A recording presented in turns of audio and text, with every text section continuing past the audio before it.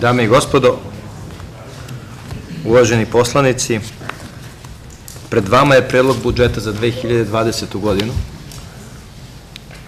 Na vreme i po kalendaru smo ga poslali u Narodnu skupštinu. Ono što je meni važno danas u ovom kratkom izlaganju da vam kažem, da su dve osnovne smernice ili dva osnovna cilja koja su vezana za ovaj budžet, a to je s jedne strane povećanje životnog standarda građana Srbije i s druge strane ubrzavanje našeg privrednog rasta. To su nam dve osnovne intencije, dve osnovne namere kada smo razmišljali i kada smo pred vas izašli s ovim budžetom. Po pitanju životnog standarda građana Srbije u ovom budžetu se nalaze i odluke koje su vezane za rast plata u javnom sektoru između 8 i 15 odsto. Povećanje plata krenulo je od novembra meseca ove godine, ali u potpunosti pokriveno i budžetom za 2020. godinu. S druge strane, imate i projekciju povećanja penzija po takozvanoj švajcarskoj formuli, koju smo predložili, koja po nama je najpoštenija i najbolja na kraju krajeva za naše najstarije sugrađane. Povećanje penzije od 1. januara ide i bit će oko 5,4%, zajedno sa jednokratnom pomoći koju smo uspeli iz suficita koji smo ostvarili da isplatimo pre par nedelja. To je stavka budžeta koja će značajno uticati i na povećanje životnog standarda naših najstarijih sugrađana. Da vas podsjetim, Vlada Republike Srbije donela je takođe i odluku o povećanju minimalne cene rada, Minimalna cena rada od 1. januara 2020. godine raste za 3.000 dinara, dakle sad 27.022 na 30.022 dinara. U apsolutnom iznosu to je najveće povećanje minimalne cene i minimalne zarade ikada, što je veoma važno i takođe će značajno doprineti rastu životnog standarda građana Srbije.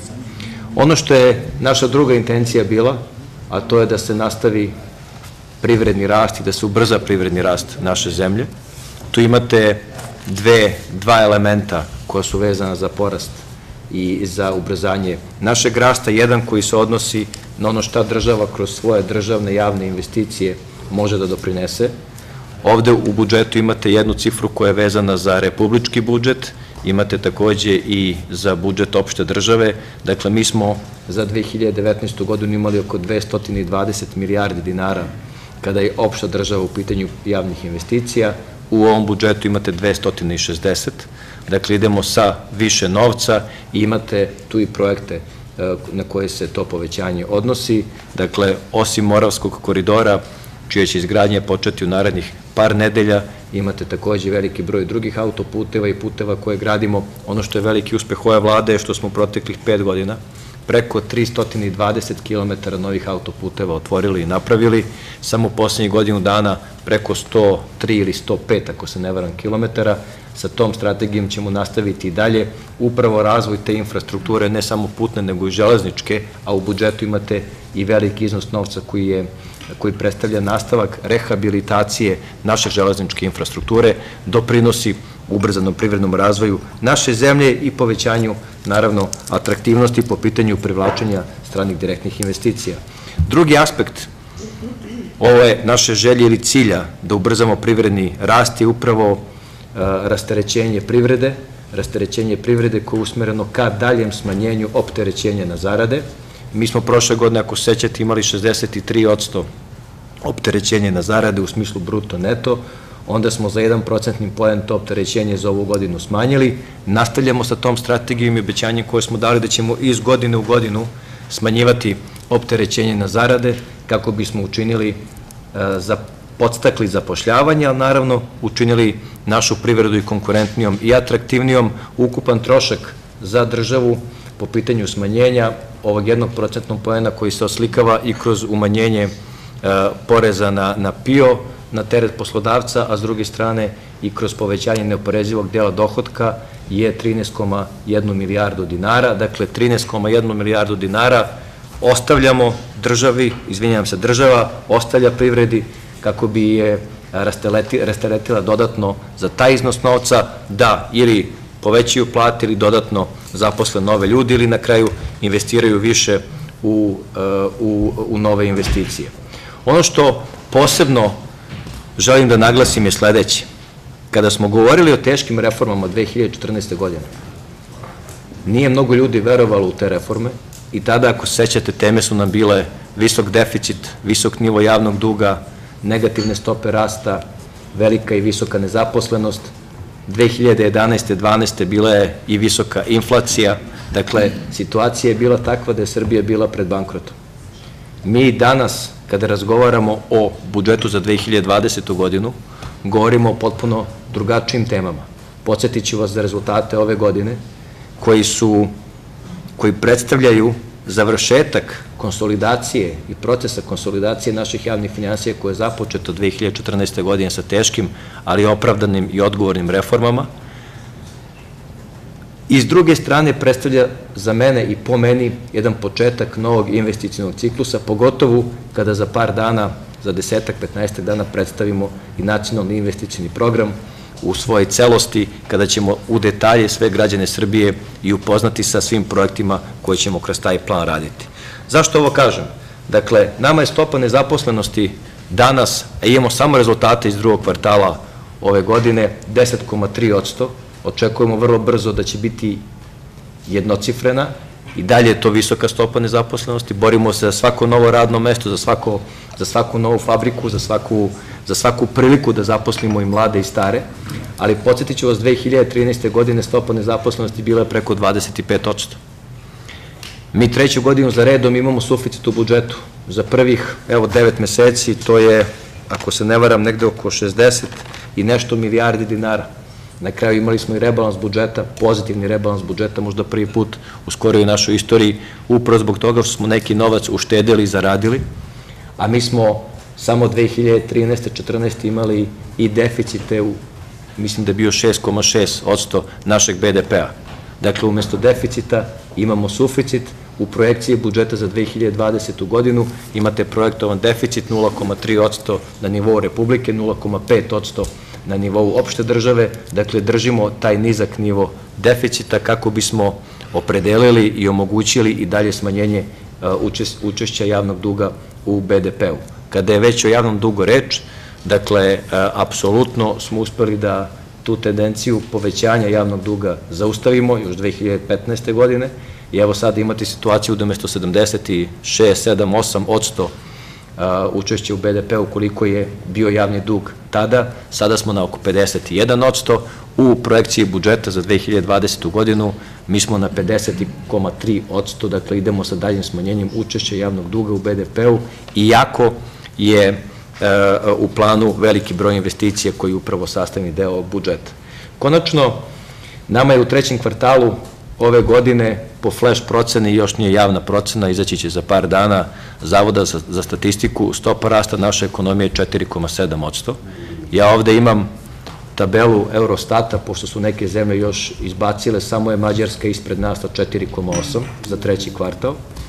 Narodna banka Srbije je povećala projekciju našeg rasta sa 3,5 na 3,6. Mi kao Ministarstvo financija, dakle projekciju rasta smo za ovu godinu povećali još malo, nisam izašao javno sa tim, mi smo čak išli na 3,7, 3,8, ali u svakom slučaju stopa rasta naše ekonomije ove godine biće iznad projektovanih 3,5.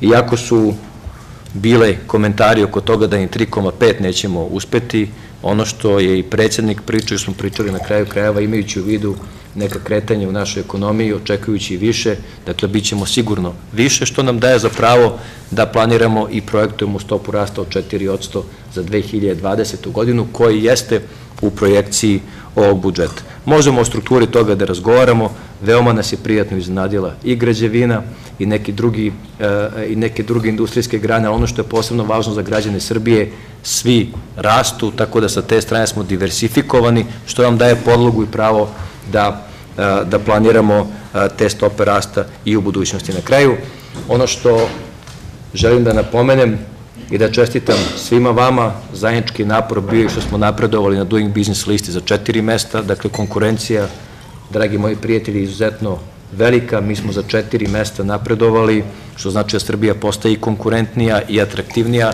takođe su nam se poboljšali kreditni rejtinzi i od strane Moody's-a i od strane Fitcha, očekujemo S&P da izađe sa svojim komentarima i svojim predlogom rejtinga u decembru mesecu. To su najobjektivniji pokazatelji uspešnosti jedne ekonomije i poverenja koji strani investitori imaju u tu ekonomiju. I završavam sa time da smo pre dve nedelje imali još jednu emisiju evroobeznica na londonskoj berzi. Ostvarili smo nikada nižu kamatnu stopu. U istoriji smo gledali koliki je yield, takozvani prinos. Kupon je ostao isti 1,5%, ali je prinos, odnosno yield na tu e, obveznicu 1,25%. Dakle, 1,25%, ne povećavamo javni dug, time refinansiramo obveznicu koja dospeva u februaru mesecu naredne godine, cena te obveznice bila je, ako se ne varam, 4,5, 4,6 onu koju smo refinansirali bila je preko 7 odsto, dakle, više nemate kamatnih stopa u Srbiji koje su 4, 5, 6, 7 odsto, država se zadužuje po 1,25, što je veoma važno i za privredne subjekte u našoj zemlji, jer to je i sidro na osnovu kojih se takođe i oni mogu zadužiti u inostranstvu i naravno time investirati e, još više novca u razvoj naše ekonomije. Da ne zaboravim, izvinjavam se, digresija, strane direktne investicije, dakle tu smo stvarno e, promenili potpuno e, imidž Srbije. Mi smo prošle godine, kao što znate, odnosno za prošle godinu dobili i priznanje od Financial Timesa da smo broj jedan u svetu po glavi stanovnika i po broju investicija i po njihovom iznosu 107 projekata, 5,8 milijardi dolara. Evo, mi smo za prvih 7 ili 8 meseci ove godine 43% više stranih direktnih investicija, odnosno priliva od tih investicija u Srbiju, dakle radujemo se još jednoj rekordnoj godini. To vam govori ne samo koliko se Srbija promenila u smislu sigurnosti, investicija, atraktivnosti naše zemlje, naravno to znači nova radna mesta, to za, za, za našu zemlju, za nas znači obaveza za investiranje još više novca i u infrastrukturu i u privredne zone i u putnu i železničku, nove mostove. I ono što je posebno meni važno zbog građana Srbije, mi ćemo u decembru mesecu imati prosečnu platu preko 500 evra, to je obećanje koje smo dali i obećanje koje ćemo ispuniti, a onda ćemo se zajedno boriti za 2020. da to povećanje bude i na 520, 550 i 600 i da u što kraćem vremenskom periodu građanima Srbije obezbedimo što bolji životni standard. Hvala vam puno, neću mnogo da, da, da duljim ovde, ostajem naravno na, na raspolaganju za bilo koje pitanje koje možete imati. Ono što je meni posebno drago je što ćemo u Skupštini koja kreće u sredu imati duplo vreme za raspravu o budžetu, dakle u detalje, u potpunosti da sagledamo budžet kako bi pre građane Srbije izašli sa najboljim predlogom koji na kraju treba da, kao što sam rekao na početku, i utiče na povećanje životnog standarda i na ubrzanje privrednog rasta naše ekonomije. Hvala puno. Pa da iskoristim priliku da onda odgovorim na ove komentare i, i, i sugestije gospodina Petrovića uz zahvalnost Fiskalnom savetu za, za konstruktivan dijalog koji smo napravili, koji smo uspostavili, koji na kraju krajeva je i na neki način e, i bio u vašem govoru, odnosno vašoj, vašoj diskusiji koju ste imali, imali malo pre za mene kao ministra financija. Ovde su veoma važni par e, stavova od strane Fiskalnog saveta, dakle, za sve građane Srbije, naravno, a to je da je budžet sa strane i prihodne i rashodne konzervativno projektovan. Dakle, to je praksa koju, koju držimo već par poslednjih godina, nemamo izmišljenih prihoda kako bi pumpali rashode, nego konzervativno, realno su i prihodi i rashodi napravljeni. Ono što mi je takođe drago, što je i gospodin Petrović rekao, da je projekcija deficita realna i da je usmerena ka tome da se i u narednoj godini smanjuje učešće javnog duga u BDP-u. E, budžetski kalendar, naravno, mislim da smo to pokazali, mi ćemo poštovati ono što je meni posebno važno za vas koji ne znaju. Dakle, dogovor jeste da tokom naredne godine e, napravimo potpuno novi zakon o budžetskom sistemu i kada je kalendar u pitanju imate dosta dosta problema sa kalendarima Narodne skupštine, vlade Republike Srbije i tako dalje, pa ćemo gledati to sve da lepo kako bi rekli narodski, ispeglamo kako bi to sve funkcionisalo još bolje sa našom željom da u apsolutno u bilo kom trenutku i na bilo koji način Ministarstvo financija i vlada Republike Srbije poštoje ono što je zacrtano i definisano tim kalendarom. Ove godine smo to potvrdili, gledat ćemo naravno i godinama koje su pred nama takođe da se držimo tog kalendara, uz naravno još jedan put ono što smo rekli, što ćemo uraditi ove godine, to je duplo vreme rasprave koje ćemo imati u parlamentu da, da, da o tome diskutujemo. Po pitanju investicija u komunalnu infrastrukturu, da odgovorim na, na komentare i, i, i primetbe koje je gospodin Petrović imao, najpre kao što znate, investicije u komunalnu infrastrukturu su u nadležnosti lokalnih samuprava tako da će u budžetu lokalnih samuprava biti investicije za komunalnu infrastrukturu i ne mogu da budu u budžetu Republike Srbije. S druge strane, imate u članu 3 uh, ono o čemu razgovaramo sa, sa CEB-om u ovom trenutku, to je upravo kreditna linija kako bi pomogli mi lokalne samuprave, to je nekih 200 ili 300 miliona evra. Ono što je veoma važno, u narednih par nedelja mi ćemo izaći sa predlogom nacionalnog investicijnog programa. Malo pre ste sami rekli, i videli ste našu želju da 3,5 milijarde evra u naredne četiri godine investiramo u lokalnu komunalnu infrastrukturu, da se u potpunosti završe i sve nedostajuće kanalizacijone mreže i vodovodne mreže i da se izgrade fabrike za prečišćavanje otpadnih voda, tako da sa te strane potpuno smo posvećeni tome. Jedan put sam pre par dana i rekao, volao bih da su generacije pre nas završile i svoju pažnju usmerile ka završetku i kanalizacijone i vodovodne mreže, na kraju oni to nisu uradili, ali kao što završavamo i koridore 10 i koridore 11 i ostale autoputeve, mi ćemo završiti svu nedostajuću komunalnu infrastrukturu u godinama koje dolaze po dinamici koju definišu prevashodno e, završetak projekata, jer na kraju krajeva nama su e, najveći problem u ovom trenutku završetak projekata za sam početak izgradnje te komunalne infrastrukture. U svakom slučaju, ono o čemu drugi nisu pričali pre nas, mi sada pričamo i pruzijamo na sebe, a to je potpuni završetak nedostajuće komunalne infrastrukture u naredne četiri godine. Ono što bih samo napomenuo, da vas podsjetim, dakle u saradnji ili zajedno sa Međunarodnim monetarnim fondom, na kraju krajeva i sa Fiskalnim savjetom, vlada je usvojila i e, posebnu i osnovala posebnu komisiju za upravljanje kapitalnim projektima koju presedava predsednica vlade, to se do sada nije dešavalo, u njenu primenu s obzirom na to da nam je Svetska banka pomogla da napravimo odgovarajuću metodologiju koja je napravljena i usvojena, krećemo od 1. januara, svi projekti će prolaziti kroz tu komisiju, svi projekti će biti analizirani i ocenjeni shodno toj metodologiji, tako da nije samo u pitanju visina investicija u kapitalne projekte, zato što je naš cilj da taj novac ne propada kao što je propada kod nekih pre, nego da ono što već investiramo, shodno odgovarajući metodologiji, bude procenjeno i da je profitabilno i da je potrebno, a na kraju onda u još bolju superviziju i nadzor da se te investicije realno i završe. Ne bih se složio sa komentarom e, gospodina Petrovića oko toga da zabrana zapošljavanja i dalje traje, dakle, taj zakon ili uredba, kako god hoćete, prestaje da važi krajem ove godine. Mi smo se dogovorili, to znate, zajedno sa Međunarodnim monetarnim fondom, da ćemo tokom 2020. godine izaći sa konkretnom metodologijom zapošljavanja u javnom sektoru. Dakle, vi imate, dakle, ne zabranu, nego kontrolu zapošljavanja ste imali, jer da imate zabranu ne biste imali nijednog zaposlenog u javnoj, javnoj administraciji, a de facto ih imate. Dakle, da izađemo tokom naredne godine i dobar deo naše aktivnosti ćemo posvetiti tome, da tokom naredne godine napravimo najbolju strategiju koja je vezana za, s jedne strane, definisanje potreba za kadrovima, odgovarajući kvalifikacija svih ministarstava ili da kažem korisnika tih javnih sredstava, a onda da smislimo zajedno i mehanizam kontrole, tu naravno gospodine Petroviću ćete učestvovati vi kao fiskalni savet, ja se samo nadam da ćemo svi zajedno napraviti najbolju metodologiju koja će s jedne strane dati mogućnost javnoj administraciji da dođe do kadrova koji su neophodni, kako bi se i kvalitet usluga prema građanima Srbije e, i poboljšao i napredio, a s druge strane da izbegnemo ono prekomerno zapošljavanje bez razloga kao što je bilo u nekom prethodnom periodu. Po pitanju penala i kazni, tu ste u pravu, ali ovo je naša namera da konačno prikažemo stanje kako jeste. Ovo su inače sve, ja ću vam dostaviti tačan spisak na, šta se ti penali kazne odnose, to su sudski sporovi koji su krenuli 2005. 6. 7. 8. Dakle, nemate tu ništa u poslednjih par godina, pa neke arbitraže koje su trajale po 10 godina. I mi smo, recimo, za tu Energozelena se zove, ali tako? Za Energozelenu, što je projekat iz 2007. godine, ako se ne varam, evo, 50 miliona evra mora da plati.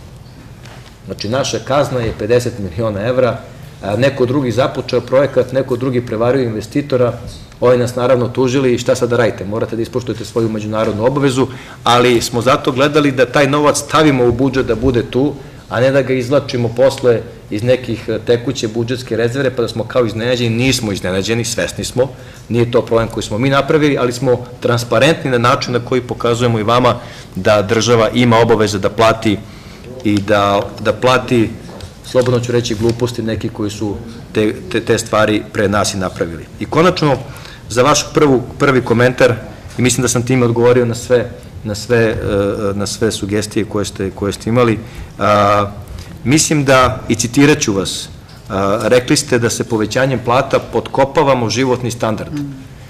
A, kraj citata koji ste vi napravili. Ja se sa tim jednostavno ne mogu složiti. Mislim da je politika vlade veoma jasno definisana. Mi nismo uzeli skupe kredite pa smo povećavali plate iz nečega što ne postoji, kao što su radili neki pre nas. Mi smo iz suficita u budžetu, iz onoga što smo uštedili i zaradili, jedan deo tog novca usmerili ka povećanju plata i ka povećanju penzija. A, drugi deo koji je još veći usmerili smo ka povećanju javnih investicija. Dakle, za nas je dalje mnogo važnije i više važno, a da ne kažem da je mnogo važnije, da je važno da nastavimo visoke stope rasta naše ekonomije, složići se sa vama, mogu da budu i više i treba da budu više, ali borimo se za to da uslovima kada imate i usporavanje drugih ekonomija u, u Evropi, koji su naši najveći spoljno-trgovinski partneri, s druge strane i mogućnosti trgovinskih ratova i nestabilnosti koje postoje u svetu, da se mi bavimo onim što je mogućnost, on, onim što, na, što možemo da utičemo, kao što jesu javne investicije, na kraju krajeva i povećanje plate i penzije, odnosno javna potrošnja, takođe ima svoj doprinos i utiče na rast, na rast BDP-a. Dakle, naša stav vlade Republike Srbije je da mi ćemo svaku mogućnost iskoristiti za povećanje životnog standarda građana Srbije, ne ugrožavajući time makroekonomsku stabilnost i ne ugrožavajući time ni na koji način zdrave javne financije koje smo teškom mukom uspeli da, izbori, da, da izborimo u poslednjih par godina. Ja ću vam samo povećati, izvinjam se, povećati dve cifre reći koje su veoma važne kada govorimo o povećanju plata i povećanju penzija. Sa povećanjem koje smo definisali, dakle između 8 i 15 odsto, učešće plata, odnosno zarada, u BDP-u biće 9,5 odsto. 9,5%, ako uporedite recimo Europsku uniju i 28 zemalja Europske unije, tamo je prosečna, prosečna zarada 9,9% BDP-a. Ako pogledate neke druge zemlje, recimo Hrvatska 11,6, Slovenija 11,1, Rumunija 11, Francuska 12,5 učešće plata u BDP-u. Dakle, mi smo sa 9,3 povećali na 9,5, ja ne smatram da je to mnogo, dakle daleko ispod proseka EU 28, a s druge strane ne, nismo ugrozili teško stečenu makroekonomsku stabilnost. Po pitanju rasta, i tu bih završio, mislim da ohrabruje rast u poslednjih dve godine, ne možete i mi nismo ni očekivali rast u 2014. i 2015. iako je i tada naša ekonomija rasla, smo krenuli i pokrenuli teške mere fiskalne konsolidacije. Ali evo kada pogledate rast našeg BDP-a od 4,4% prošle godine, ako se ne varam, evo ove godine 3,6, 3,7, gde globalnu stopu rasta, kada uključite i Kinu i Indiju, projektuju na 3%, a imate usporavanje u nemačkoj ekonomiji i u ekonomiji Italije, koji su naši najveći spoljno-trgovinski partneri. Dakle, mi smo na osnovu domaće tražnje i na osnovu investicija i rasta izvoza na kraju uspeli da održimo relativno visoke stope rasta sa naravno smirivanjem e, problema u globalnoj ekonomiji očekujem da će taj rast biti još viši, ali najviše ulažemo u ono na što možemo mi da utičemo, a to su plate, penzije i, e, i e, ulaganja u putnu, železničku i ostalu infrastrukturu. U svakom slučaju, nadam se da sam odgovorio na neke od vaših komentara, hvala vam puno na, na vašoj saradnji i nadam se da ćemo sa tom saradnjom nastaviti u budućnosti.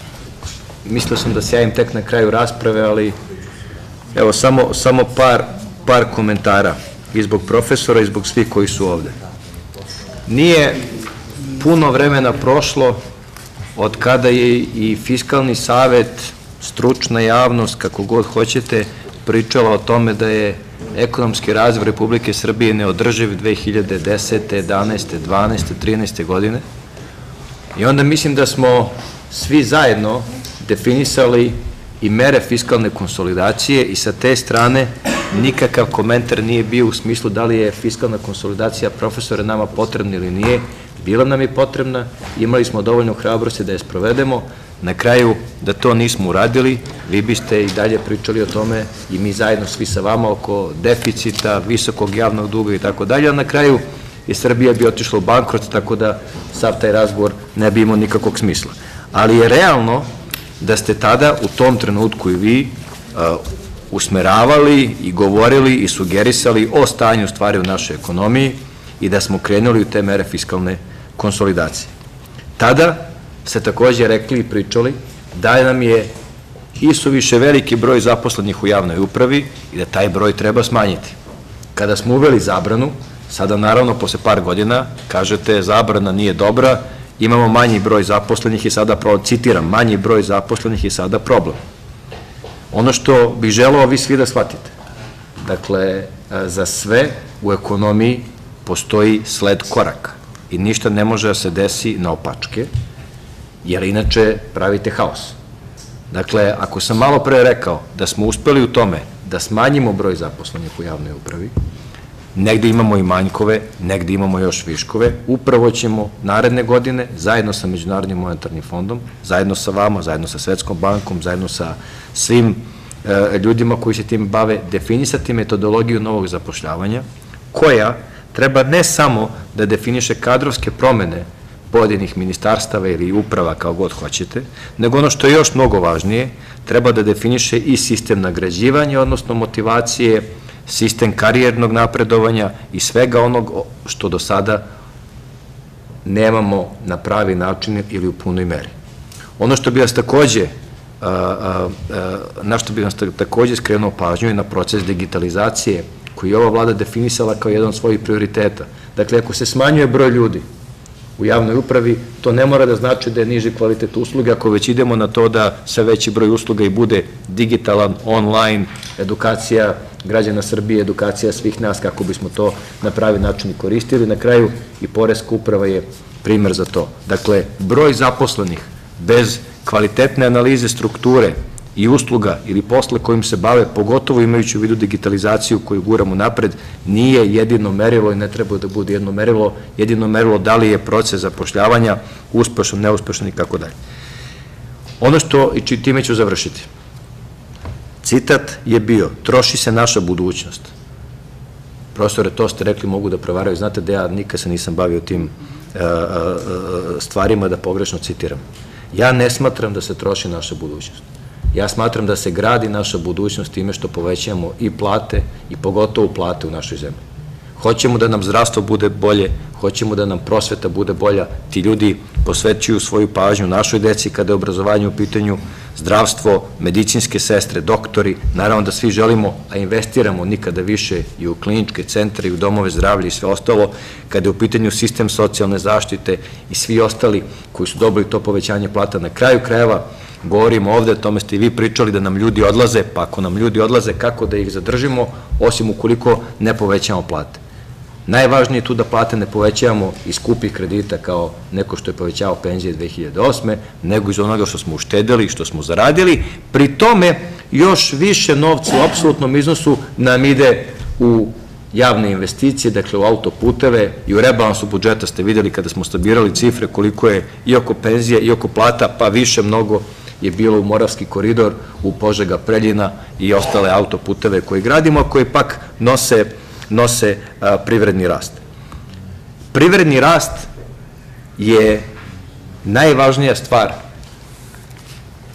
na koju posvećujemo pažnju i oko koje se bavimo sada. Sa merama fiskalne konsolidacije i još jedan put ću ponoviti, svi pričamo o prosečnoj prosečnom rastu ekonomije Republike Srbije u proteklih 10 godina, potpuno neuporedivi podatak. S jedne strane ste imali i neku krizu, s druge strane ste imali mere fiskalne konsolidacije, Hajmo da gledamo, ako je 2017. 2018. bila kraj fiskalne konsolidacije, pa hajmo da, da merimo 4,4, pa bit će ove, tri, ove godine 3,7, 3,8, pa dakle, polako, ali sigurno, u sve sistemske e, e, neravnoteže koje imamo, i sami ste pomenuli strukturno strukturne reforme koje su apsolutno neophodne, a ne možete i strukturne reforme i fiskalnu konsolidaciju i jednostavno toliko šokova nijedan sistem ne bi izdržao. Dakle, ako hoćemo da budemo, što bi rekli na engleskom, prudent, dakle, mudri po pitanju naše ekonomije, moramo da pratimo neki, neki sled događaja. Najteža nam je bila fiskalna konsolidacija, bez stabilnih, javnih, zdravih financija ne možete da uradite ništa. Sada kao vlada donosimo odluke, pa dobro, kako ćemo i na koji način da pospešimo naš rast? Ne možete da tražite i fiskalnu konsolidaciju i rast u isto vreme.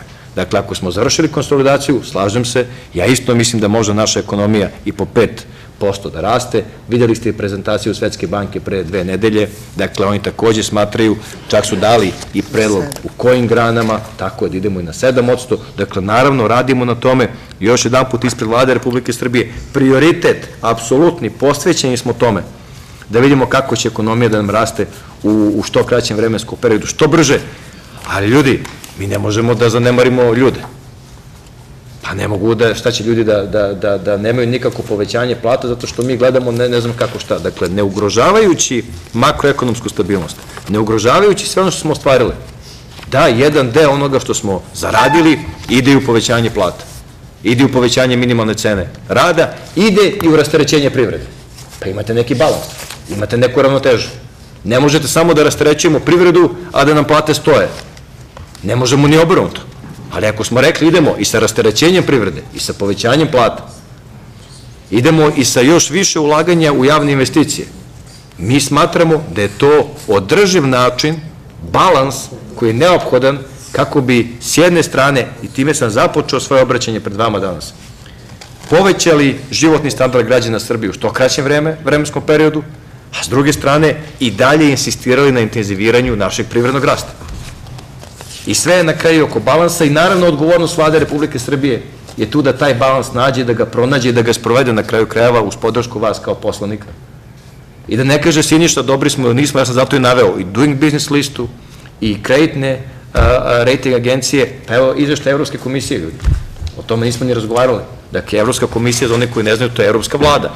Pročitajte izveštaj o Republici Srbiji pa kaže da nam je budžet zdrav, da nam je rast održiv, da ovako, da onako. Pa ne kaže to ni Siniša, ni bilo ko drugi. Da li može bolje? Pa naravno da može bolje, zajedno radimo o tom. Ali u ekonomiji mora da postoji normalan, prirodan sled događaja, mora da postoji jedna postepenost. Inače, izazivate šokove, niko ne voli šokove u bilo kojoj ekonomiji, eksterne ili interne, velika nagla pomeranja levo ili desno, imali smo ih kada smo pokrenuli fiskalnu konsolidaciju, sada polako, na pravim osnovama, gledamo kako ćemo da rastemo. Ako je 4,4 bilo prošle godine, ako će u sve, sva ograničenja koje smo imali ove godine i po pitanju ekonomije u Nemačkoj i u Italiji i najve trgovinskih ratova i e, problema koje Fiat ima u proizvodnji, imali opet stopu rasta koja u trećem kvartalu je druga iza Mađarske. Evo vidjet ćemo ko će još u sledećih desetak dana da, da svoje podatke dostavi Eurostatu. Pa ljudi, nije da se to svaki dan baš dešava, da, da je Srbija i da je ekonomija Srbije među top 2, 3, 4 ili 5 u Evropi. I pored svega onoga što je gospodin Arsić pričao, što je u pravu, i stalno pričamo o tome kako je centralna Evropa, kako je, ne znam, Evropska unija i tako dalje. Pa ljudi, i to je neuporedivo. S jedne strane su članovi Evropske unije, imaju niz pristupnih ili njihovih već fondova, nisu ni pristupni. Imaju potpuno drugu perspektivu. Nisu imali sankcije bombardovanja koje smo mi imali. Mi smo propustili neku svoju šansu i 2000. godine. Pa onda konsolidacija 2014. Pa šta da radimo? Pa smo pognuli glavu, pa nismo, idemo dalje. Borimo se. Borimo se, ali nije baš da, da nije lepo kada vidite da smo 4,7% stopu rasta imali u trećem kvartalu, a ovi su imali 4,8, a niko nije imao iznad toga. E, sad ćemo da se borimo za četvrti kvartal, pa za onda prvi kvartal naredne godine, pa da nam stope rasta budu sve više i više. I da zarušim sa ovim platnim razredima. O tome se priča ne znam koliko godina unazad. I svi vi znate da niko te platne razrede ne želi i svi vi pričate o tome da će ti platni razredi ne znam šta da urade. Kao poslednja stvar koju smo imali u ovom instrumentu sa MMF-om je uvođenje platnih razreda. Naravno, mi smo to uradili na pravi način jer hoćemo da uvođenje platnih razreda bude praćeno sa sistemom zapošljavanja, motivacije i svim ostalim. Na sami platni razredi mnogo, to, mnogo toga neće promeniti. Platni razredi ne znači povećanje plata. Zla, znači usklađivanje plata shodno istoj vrsti uh, delatnosti, posla ili čega već. Vi sami znate, ja sam razgovarao, verovatno vi niste sa sindikatima i onda uvek lakše da kažete to je bilo dobro da uvedete, pa ajde uvedite. Hajde uskladite vi sindikati i prosvete ili zaposlene u prosveti i obrazovanju i u socijali i u kulturi i u ne znam čim već tamo, pa da nije to baš tako jednostavno. A njihovi su životi u pitanju. Dakle, nije to toliko jednostavno, ali to sam rekao uradit ćemo naredne godine i to smo rekli da ćemo da uradimo. Ali onda kada pogledate sled događaja, vraćam se na to, kada ste krenuli od teških mera fiskalne konsolidacije, pa jeste, naredne godine i vreme nam je, imamo mogućnost i to da završamo. I nije ništa sporno, uradit ćemo i to. A on ćete reći, pa da, ali ne znam šta, nije to dobro urađeno, treba neka faza, dva, to je u redu, to se zove progres, napredak i super, mi ćemo time da se borimo. Ali mora da imate, ne možete uslovima kada nemate novca ni za plate, ni za penzije, kada vam je ogroman javni dug, kada nemate nijednog investitora, kada vam raste nezaposlenost, da pričate o platnim razredima. Nemoguće. Onda rešite ovaj problem koji je tu. Pa kažeš, a ne mogu tad, a volao bi da tad rastao, pa kažeš, pa ne mogu da rastem kada sam, kada sam u procesu konsolidacije. Evo sada idemo na rast, idemo na strukturna prilagođavanja, idemo na digitalizaciju, naravno da radimo, videli ste, je, MMF, MMF nas je pohvalio oko napretka u poslovanju javnih preduzeća. Rekli su, nije idealno, mnogo bolje nego što je bilo pre par godina. Je sporije, ide malo sporije nego što bi trebalo da ide, ali ide. Uvođenje korporatizacije, uvođenje pojedinih IT sistema, definisanje KPI-ova, profesionalizacija menadžmenta, konkursi za, za direktori i tako dalje. Dakle, ja mislim da sve tu ide na nekom, u nekom normalnom, jednostavno nekoj dinamici koja je jedina normalna i koja održivo postavlja bazu za dalje rast ove ekonomije. Sve hoćemo pa ćemo da menjamo pravce levo, desno, ovako, ovako. To jedna ekonomija ne može da izdrži, pućiće i krhka je. A mi gradimo sada stabilnost i jačinu naše ekonomije kako bi i bila otporna na te eksterne, eksterne šokove ako ikada dođu, a s druge strane da stabilno obezbedi mogućnost rasta i životnog standarda i same ekonomije u budućnosti. Hvala, izvinjam se ukoliko sam ovo malo odužio, ali bilo mi je važno da se javim zato što stalno se vraćamo na to plate, platni razredi, rast, apsolutno je jasno rast mora da ide. I mora da ga povećamo iz godine u godinu. Ali nije uporedivo 2013. 14. 15. sa 2018. 19. i 20. Platni razredi takođe. Hvala puno. Evo samo ukratko, dakle, veoma je važno pitanje koje ste postavili oko načina finansiranja ove jednokratne pomoći. Ono što je meni posebno veliko zadovoljstvo što smo mi taj iznos uh, finansirali isključivo iz suficita koji fond uh, ostvario. Dakle, ni na koji način neka nova sredstva, neko prelivanje iz drugih delova budžeta, dakle, na najzdravijim mogućim osnovama, upravo smo tako i gledali, veći broj zaposlenih u Republici Srbiji, veći su prilivi u fond od planiranih i mi smo tog novca to isplatili. Pitanje oko zakona, ja ću se sa vama družiti ja mislim sledećih dvadesetak dana kako ovaj, je neki plan. Dakle, u sredu ulazimo u Skupštinu, to je 20. i negde oko 27. 28.